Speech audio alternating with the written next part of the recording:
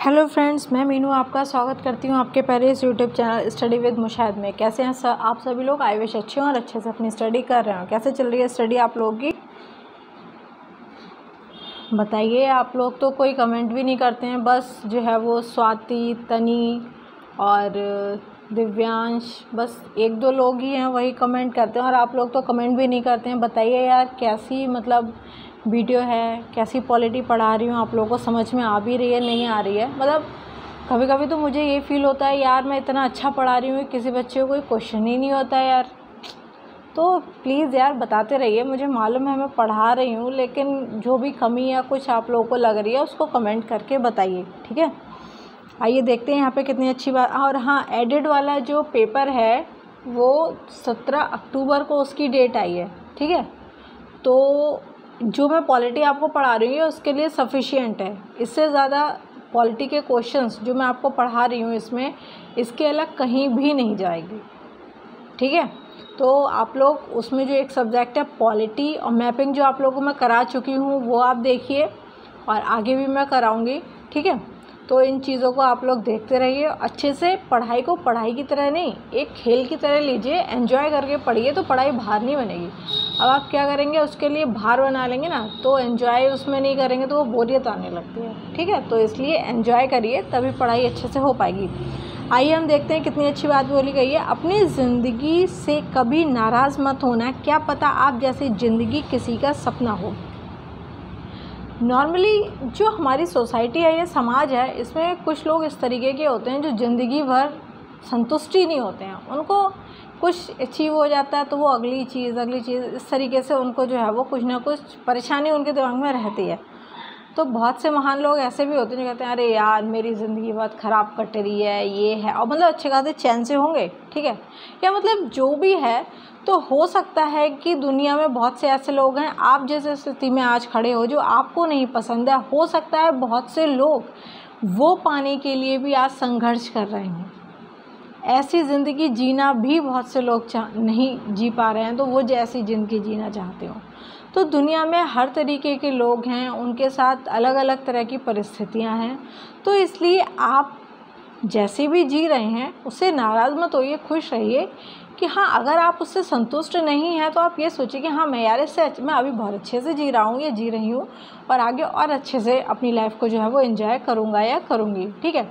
तो कभी ज़िंदगी से नाराज़ मत हो, क्योंकि ज़िंदगी तो ऐसी है कि समय के अनुसार चीज़ें चेंज होती रहती हैं, ठीक है? तो आप अपनी ज़िंदगी से कभी नाराज़ मत होइए, क्योंकि बहुत से लोग ऐसे भी हैं जो आप जैसी ज़िंदगी जीने के लिए तरस रहे हैं, ठीक है? तो इसलिए अपने माइंड का जो सोचने का दायरा है, जो सिकड़ा हुआ है, उसको बड़ा करिए, ब्रॉड करिए, और फिर जो है वो अपनी एजुकेशन को, अपनी चीज़ों को आगे बढ़ाइए। देखिए, ज़िंदगी जीने में कितना मज़ा आता है। यार, ये ज़िंदगी बहुत खूबसूरत चीज़ है। आप इसको ज़रा ज़रा सी चीज़ों पर परेशान हो जाना कि अरे यार, पेपर है, ये है, या कोई भी चीज़ आप ज़रा से परेशान कुछ ज़रा सी परेशानी हुई नहीं, परेशान होकर बैठ जाते हैं। ये ज़िंदगी नहीं होती है, ज़िंदगी ये होती है कि हमारे सामने कोई भी परेशानी आई है, ठीक तो वो आती ही परेशानी इसीलिए है कि हम उसका कोई सॉल्यूशन ढूंढें, क्योंकि जब हम उसका कोई सॉल्यूशन सर्च कर लेते हैं और उस परेशानी को ख़त्म कर देते हैं तो उसके बाद जो रिलैक्स आता है, ठीक, वो बहुत ही ज़्यादा अच्छा फील कराता है हमें तो वो क्या होता है, ये ज़िंदगी में ये उतार चढ़ाव आते रहते हैं। तो इसलिए ज़िंदगी को एन्जॉय करिए। कहते हैं ना, ज़िंदगी काटो मत, जियो। जैसे कोई पूछता है, भाई, क्या हाल है? कट रही है यार। तो ये बहुत अलग तरीका है कि मतलब सामने वाला भी डिप्रेशन में अगर यार, इसकी कट रही है तो मैं क्या बोलूँ? ठीक है तो थोड़ा इन्जॉय करिए लाइफ को। कोई पूछा क्या हाल है भाई? अरे यार, मस्त है यार, बहुत मस्त। बताओ, तुम्हारे क्या हाल चाल है? तो सामने वाले को भी लगे यार ये इतना खुश है तो मैं भी क्यों खुश नहीं रहूँ? तो इस तरीके से एंजॉय करिए, खुद भी करिए, सामने वाले को भी कराइए, ठीक है? पता चले खुद तो डिप्रेशन में हो, कोई पूछने आ गया अच्छा खासा, उसको और डिप्रेशन में पहुँचा दिया। तो इसलिए थोड़ा सोचने, समझने का दायरा बदलिए, आगे बढ़िए। आज मैं आप लोगों को लेकर आई हूँ उपराष्ट्रपति। पिछली वीडियो में मैंने आपको राष्ट्रपति बढ़ाए थे, ठीक? भारत के राष्ट्रपति कैसे होते हैं, कैसे उनका निर्वाचन होता है, उसका मंडल कैसे होता है, ठीक है? किस आर्टिकल के तहत उनकी शपथ है, किसमें महाभियोग है, ये सारी चीज़ें जो है मैंने आपको पढ़ाई थी, ठीक? अब हम आते हैं उपराष्ट्र पति के बारे में बात करते हैं। ये भी जो है वो भाग पाँच में है और ये अनुच्छेद तिरसठ से सिक्सटी थ्री से सिक्सटी नाइन तक हैं। उपराष्ट्रपति का जो पद होता है वो देश का दूसरा सर्वोच्च पद होता है। प्रथम सर्वोच्च पद कौन सा होता है? राष्ट्रपति का, जिसे हम प्रथम नागरिक भी कहते हैं।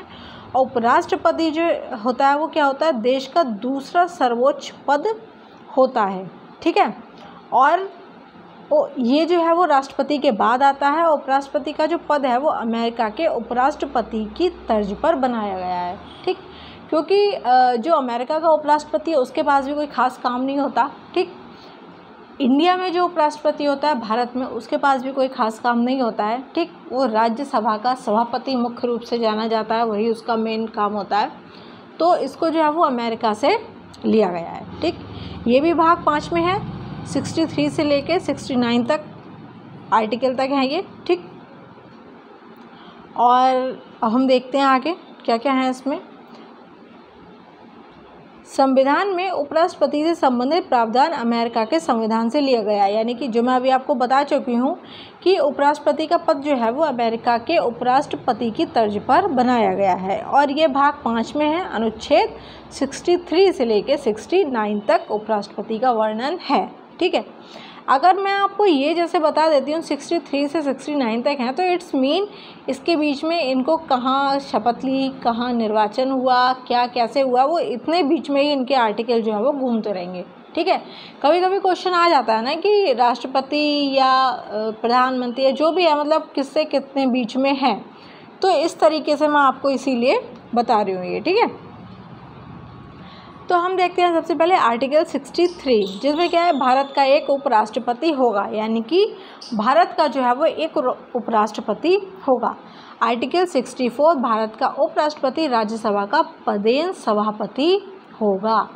यानी कि जो भारत का उपराष्ट्रपति होता है, वो राज्यसभा का पदेन सभापति होता है। यानी कि अगर किसी को भी हम उपराष्ट्रपति चुनते हैं, ठीक है तो वो ऑटोमेटिकली राज्यसभा का सभापति बन जाएगा।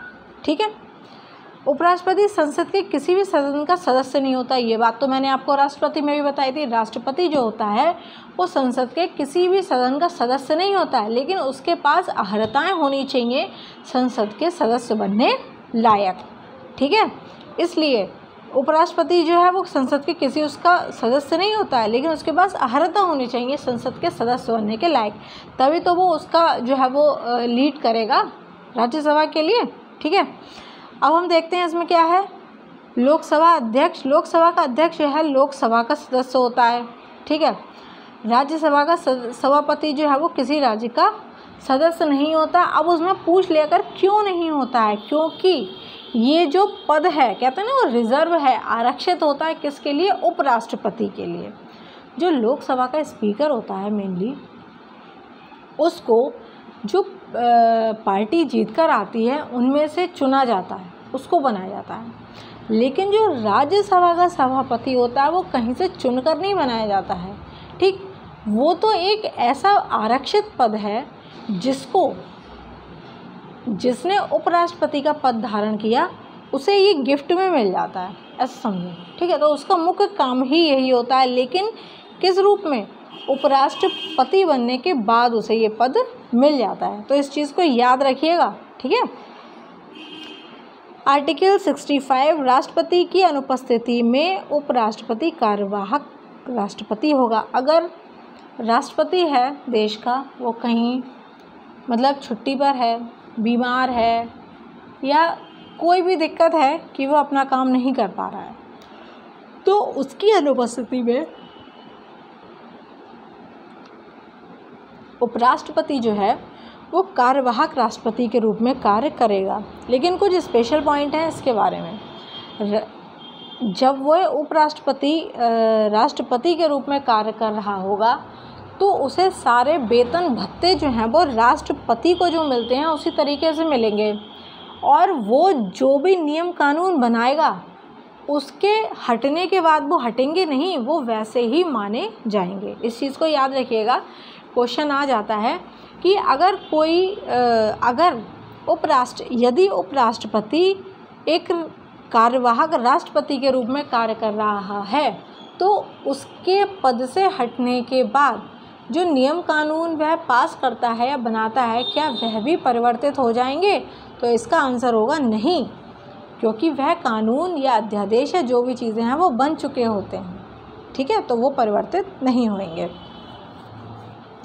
राष्ट्रपति का पद खाली रहने पर उपराष्ट्रपति कार्यवाहक राष्ट्रपति के रूप में कार्य करेगा। किस आर्टिकल के तहत? आर्टिकल 65 के तहत। आ जाता है कि कार्यवाहक राष्ट्रपति के रूप में उपराष्ट्रपति किस अनुच्छेद में कार्य करेगा, ये वर्णन है तो किसमें? अनुच्छेद पैंसठ में, ठीक है? उपराष्ट्रपति को राष्ट्रपति के रूप में कार्य करने की अधिकतम अवधि कितनी है? छः महीने की। इस तरीके से जो है वो छः महीने उपराष्ट्रपति कार्य कर सकता है, लेकिन इन छः महीने के भीतर ही जो है वो इलेक्शन वगैरह करा के, इलेक्शन इन द मतलब है, जैसे राष्ट्रपति का निर्वाचन होता है उसी तरीके से उपराष्ट्रपति का निर्वाचन होता। है तो उसी तरीके से चुनाव करा के जो है वो बना दिया जाता है छः महीने के अंदर, ठीक? इस दौरान राष्ट्रपति का चुनाव करा लेना अनिवार्य होगा और उपराष्ट्रपति के रूप में कार्य करते समय सॉरी राष्ट्रपति के रूप में कार्य करते समय उपराष्ट्रपति को राष्ट्रपति के समान ही शक्तियाँ, वेतन और विशेष अधिकार प्राप्त होंगे। आई होप अब आप लोगों को समझ में आ गया होगा, ठीक है? फिर हम बात करते हैं आर्टिकल 66 यानी कि छियासठ की, जिसमें उपराष्ट्रपति के पद की योग्यता और निर्वाचन के बारे में बात की गई है। तो निर्वाचन सबसे पहले योग्यता क्या होनी चाहिए? सबसे पहली बात क्या है? भारत का नागरिक हो। आप किसी भी पद पे जा रहे हो, कुछ जा रहे हो तो ये तो सबसे इम्पोर्टेंट चीज़ है कि भैया वो बंदा उस देश का नागरिक होना चाहिए। दो, पैंतीस वर्ष की आयु पूरी कर चुका हो।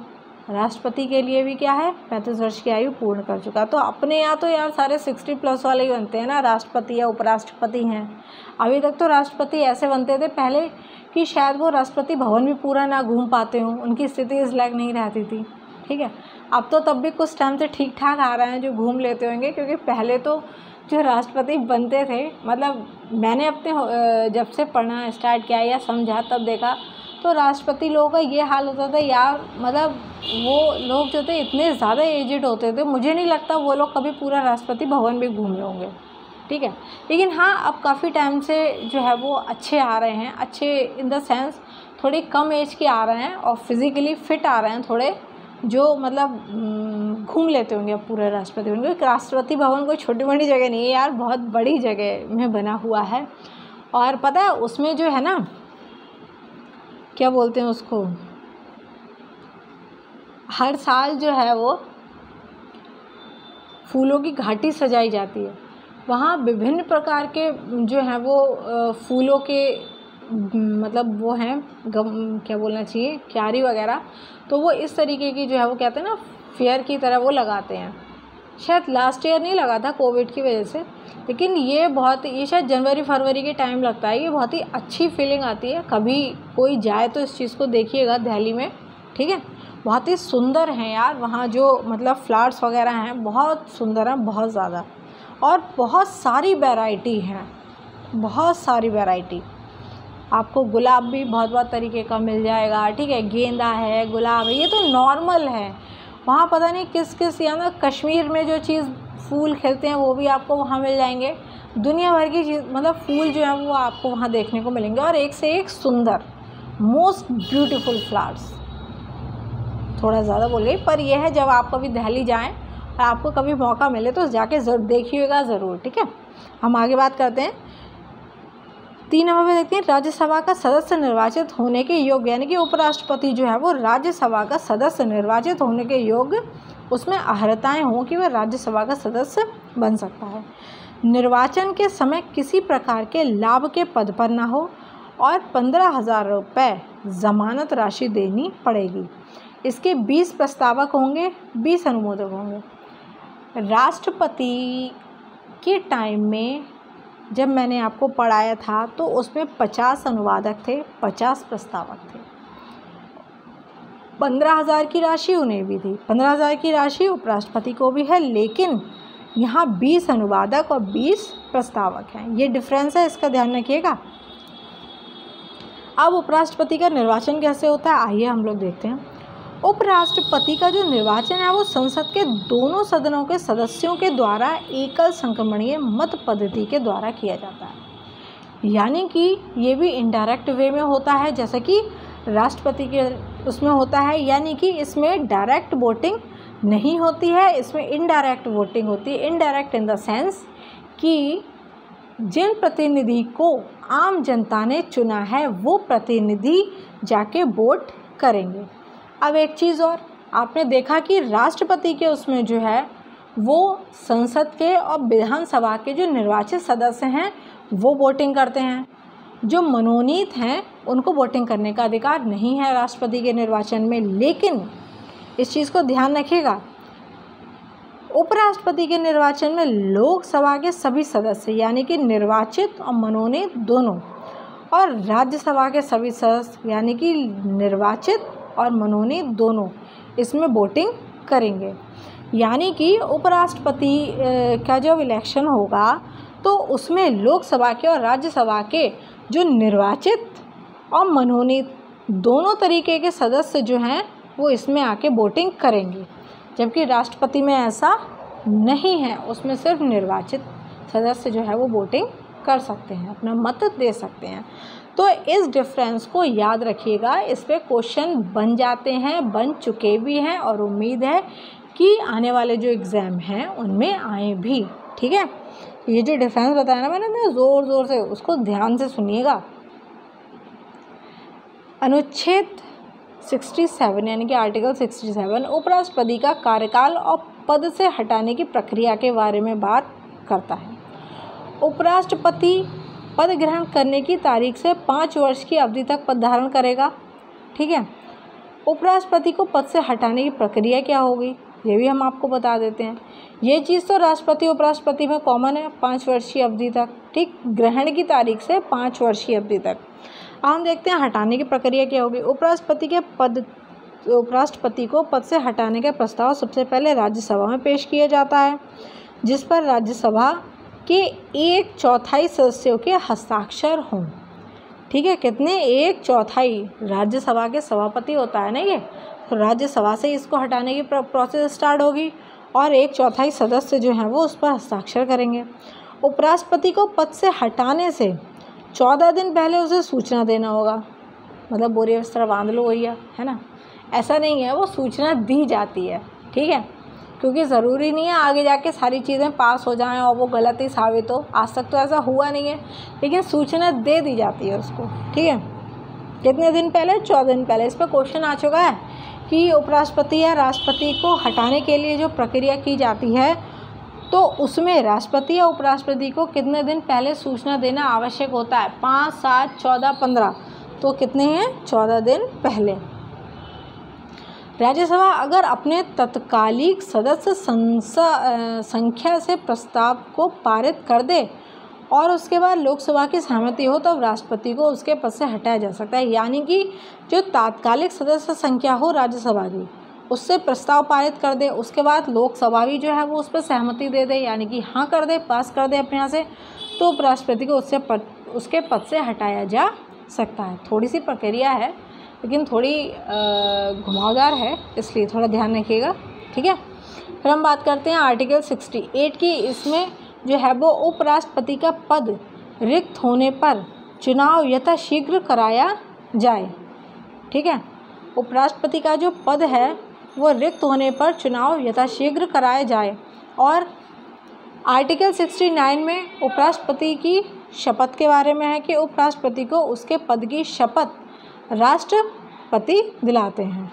ठीक है? इसमें इंपॉर्टेंट चीज़ जो है इंपॉर्टेंट कुछ बताती हूँ मैं आपको कि भारत के प्रथम उपराष्ट्रपति डॉक्टर सर्वपल्ली राधाकृष्णन और हामिद अंसारी को दो कार्यकाल के लिए भारत का उपराष्ट्रपति चुना गया था। किसको? डॉक्टर सर्वपल्ली राधाकृष्णन और डॉक्टर हामिद अंसारी जो हैं, वो दो कार्यकाल के लिए भारत के उपराष्ट्रपति चुने गए थे। और कृष्णकांत भारत के ऐसे उपराष्ट्रपति थे जिनकी मृत्यु उनके कार्यकाल के दौरान ही हो गई थी।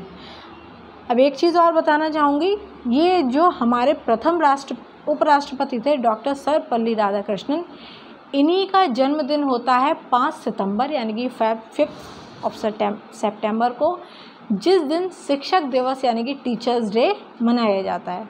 ठीक है? इस चीज़ को भी आप लोग याद रखिएगा। आई होप मैंने आप लोगों को जो है ये अच्छे से पढ़ाने की कोशिश की। आई विश आप लोगों को समझ में आया होगा। अगर नहीं समझ में आया हो तो प्लीज़ आप लोग कमेंट करके बताइए मुझे। मैं आपको फिर समझाऊँगी, फिर चीज़ें बताऊँगी। लेकिन प्लीज़ आप लोग वीडियो वीडियो को देखिए, उसको लाइक करिए। यार लाइक करने में कौन सी मुसीबत आती है? एक क्लिक ही तो करना होता है, ठीक है? तो प्लीज़ डिसलाइक करना है। डिसलाइक करिए, बस एक बताइए कि आपने डिसलाइक क्यों किया है ओके तो फ़िलहाल इतना ही। नेक्स्ट वीडियो में हम लोग फिर मिलते हैं। Thank you